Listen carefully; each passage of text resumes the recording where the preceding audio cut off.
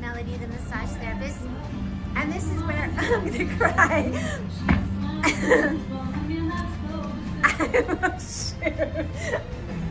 I was supposed to hop with Sundance and it, and it went all online. So I'm making lemonade. so this is my, my package from um, the Sundance Film Festival for volunteering. And I wanted to do a package review. So here we go. Parmesan snacks. and a Luna bar. I don't think I've ever had a Luna bar. Have you ever had a Luna bar?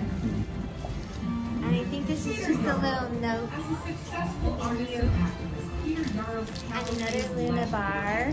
oh, you guys, check it out.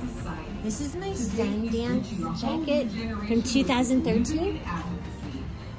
So I got to volunteer nine years ago. So I want to cut back next year. So 10 years. In a really cool Acura Sundance glass. Uh, water bottle. And a little um, IV fluid thing where so you don't get dehydrated.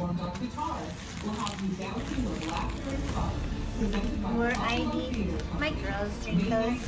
Or my one daughter does. I think this is the coolest part of all. You can volunteer for so many hours for this Sundance Film Festival. You get this really cool jacket by Kenneth Cole Designers. Hold on. Let me take it out of the bag.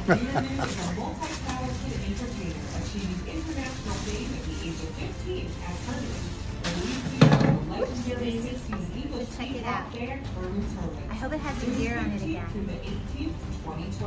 Sundance Film Festival 2022.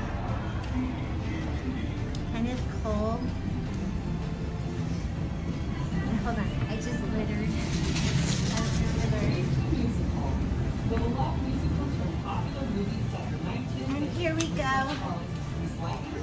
Thank you, Sundance Film Festival. It's such an honor to almost get to volunteer with you guys.